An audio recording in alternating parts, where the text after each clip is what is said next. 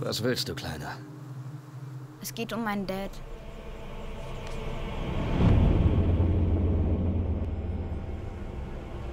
Sie sollen ihm wehtun.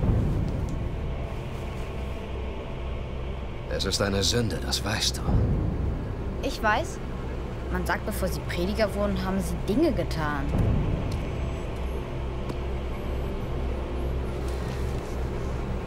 Und wir hatten nämlich ihn ran. Wie weit soll ich gehen?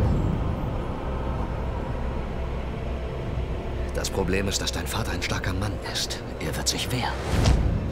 Alles wird eskalieren, so läuft, dass diese Dinge eskalieren. Gewalt führt zu weiterer Gewalt und bringt im Grunde gar nichts. Prediger! Es reicht! Bin gleich soweit, Sheriff. Das willst du, Kleiner?